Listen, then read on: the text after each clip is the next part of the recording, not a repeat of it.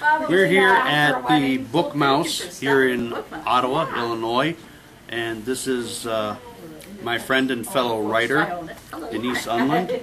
She's uh, she's written a she's gotten a book published, and uh, why don't you tell us all about it and what it is? Um, Bryony is the uh, first in the series. It's a story of a 70s teen girl that trades her blood with a Victorian vampire for a trip back into time. And I released the first book in December, and book two will be released in about a month. And it's the story, as I get, a, a 70s teen girl, and her name is Melissa, and she ends up um, in a small fishing village, a fictional fishing village in Michigan. And after her father's death, and she's kind of lonely and she's isolated.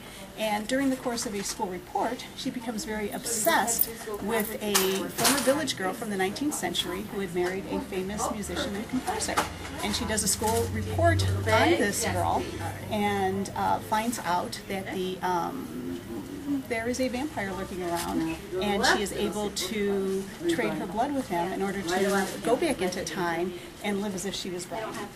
That's very unusual. You never. That's uh, that's an interesting angle to the the vampire story. I've never heard of a of a vampire taking his victims back in time with him before. You know, I, uh, uh, I grew up enjoying pre 20th century vampire stories. And while a lot of my friends were reading teen magazines growing up, I was reading archaeological expeditions into Transylvania and things like that, and the historical Dracula and just the traditional vampire lore. And actually, vampires being able to time travel, you know, that, that phrase, the dead travel fast you know, enables them to kind of span eras a little bit. Because remember, they're not alive. So, um, so I decided to use that uh, as part of the plot of Bryony.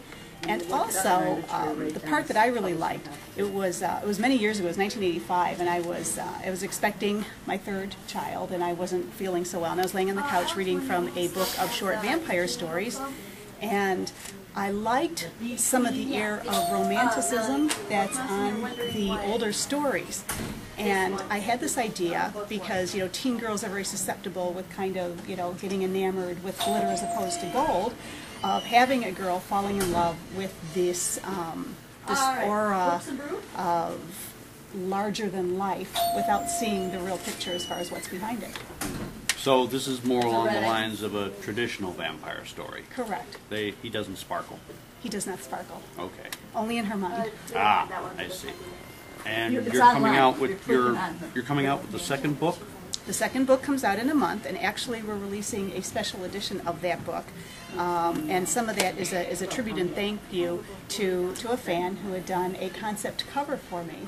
And so we're going to be releasing that particular book with that cover, and without the interior illustrations that this one has, with some extra additional appendixes that will not be in the official copy of Visage when we release it at the end of the year.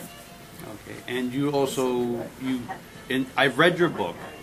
I have read it, and um, you go into great detail about certain aspects of the Victorian time period. And one of the aspects that, that caught my attention was the, the descriptions of of the various foods that they had then. Because there's a you know there's a wedding and there's a reception, and you describe all the different uh, foods that they have at the wedding. And you, you actually came out with a with a cookbook. Yeah, and you know, the, the cookbook, uh, the inspiration from that came from, from a, a, a couple of things. Uh, but to answer your first question, you know, back in the 19th century and even in the 70s, you know, a lot of celebration took place around, you know, food. And especially for a teen girl of the 70s going back into time, you know, one of the things that would be very unfamiliar for her would be food. I mean, we're not talking about pizza and cheeseburgers or anything that she might know. We're talking about some very strange things like stuffed pigeons and boiled calves' heads and, you know, I mean, you know, things that would seem normal. So she has this whole Cinderella concept of what the Victorian era is and this Cinderella concept of what vampires are. And the reality is, of course, you know, not quite as pretty as she's, you know, encountering just even foods that she doesn't like. And then the other is I have an acquaintance who put together a fundraising cookbook all by herself for, for the March of Dimes, just because she likes that organization. And she's been selling it for years and has raised uh, almost $7,000 for the organization. She just takes it to craft fairs, she goes wherever. And as I was editing uh, Bryony, I realized there were so many food references in there, we could, we could do the same. And I approached Big Brothers Big Sisters of Will and Grundy counties because there's a very nice underlying subplot where Melissa's younger brother is being mentored by the village maintenance man um, over cooking. He likes cooking of all things, and, and he's teaching her little brother how to cook. And there's, you know, some fun metaphors because Melissa's food, and Brian's learning to, about food in a very healthy way. So I approached the organization and see if they would like to be the recipient of any profits from the cookbook. And we had a lot of fun uh, researching the foods and, and, and getting submissions, and, and, and some of the Victorian recipes came from um, people. There's um, there's an author in Homer Glen. She's in her 80s, and she gave me recipes that belonged to her grandmother and great grandmother. So they came straight out of the Victorian era with things like measurements from using the eggshells. Oh, really? Mm-hmm. They use eggshells to measure ingredients? And this this particular recipe she gave me, you use the eggs and then you use so many eggshells full of water and, and things to add into the cake. They, they didn't have like measurement cups or anything? You know, it isn't so mm. much that they didn't have it, and and this is true. I have found just even in, in doing stories for the Herald News, you know, when when you know they're trying to get Grandma's Petitza recipe, they didn't do it. You know, it's kind of like you know the flour came up so high in the bowl, you threw in a pinch of this and a bit of that, and they and they mix these things up pretty quickly. So then trying to get, you know, grandma to write her recipes down, she's like, um, gosh, I don't know. I know that, you know, you throw in a handful of this and a dash of that. Really? That's, that's actually the way it was, just a handful of this and a dash of that. Correct. That's interesting. I've, I've heard those phrases before, but I but I didn't know they were actually used in actual recipes. Uh, so some of the ones from the Victorian era are not quite as exact in the cookbook.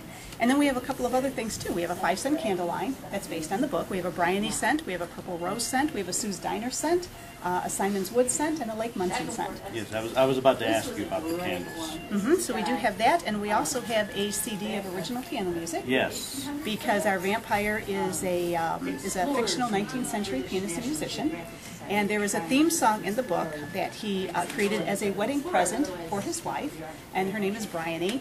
And my daughter, when she was putting together the website, felt it needed the theme song and went looking for a pianist and composer, and found that in James Onahan, who is a um, Hammond police officer. And that's what he does. He writes romantic piano music. He already had four CDs out, and he offered not only to do the theme song, but an entire CD of music that's downloadable from his website, and it's the best loved compositions of John Simons. Exactly the same record that Melissa takes out of the library. So it's where oh. fiction and reality kind of met each other a little bit. So it, it's only available online then? It is only available online. He does not have a hard copy of the of the CD yet. Okay, what's, what's the website where we can find that at? That is, uh, we actually, you can, you can um, find a link through the BryonySeries.com website, or you can go directly to James, which is jamesonahan.com, and it's also available on iTunes. Okay, excellent. So, no, you And when's found the, the author. what, Yeah, did we you, don't have did I any ask you when the second book, book was coming out? Uh, the release date for book two is December So, 1st. um, And what's that going to be called? That is called visage, and visage means appearance. And uh, so things are not quite, you know, what they seem in book two. And uh, where book one weaves between a lot of different eras, book two has um, two very narrow tracks. What you what you think you see and what's really going on. Hello, this is the book box. Yes, How may I there's help? always a difference. There is always a difference. Hello, this And is those the two run box. How may I parallel help through the entire book. Nice. Yes, Oh, very good. Donald, I can't talk right now. It's It's crazy busy here. Here's she's Denise So, Unland, Donald, are and you- the are you name of gonna her be at book is special event Bryony, the church with the tomorrow? second book They're coming doing out, the deck the Visage, halls, and you can whatever. pick those. You could find those on Amazon, and on the I've been at Bryony school book site. What is fairs, the Bryony so site? this- this is, uh, my day off BryonySeries.com, that I B missed R Y O N Y S R I S.com. And she's also on my. Uh, she's also part of my uh. Joliet, right on Joliet writers group. We meet uh, every other Thursday at the Joliet Library on Black Road, and. be So sure if you'd like to write, yes. if you have an interest in writing, if you just want to hear what other people are writing, come on out. We are the Exactly. first and third Wednesday of the month at six How many do thirty. we have? Yes. Be sure to check her out. Thank you, Dwayne. Thank you.